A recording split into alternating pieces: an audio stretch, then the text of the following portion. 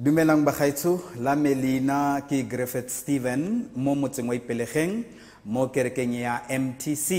mtc e emetse mercy tabernacle church. Ka ngwaga wa 2007 re ile ra etelwa ke moruti robin hamia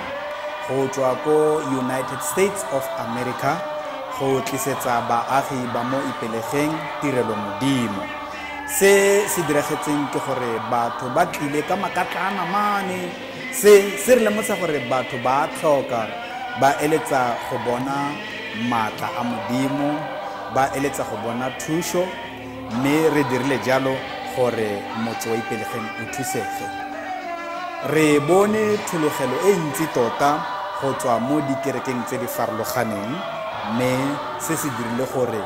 thulaganyo ya rona le kopano e re nneng le yone e nne e atlegileng tota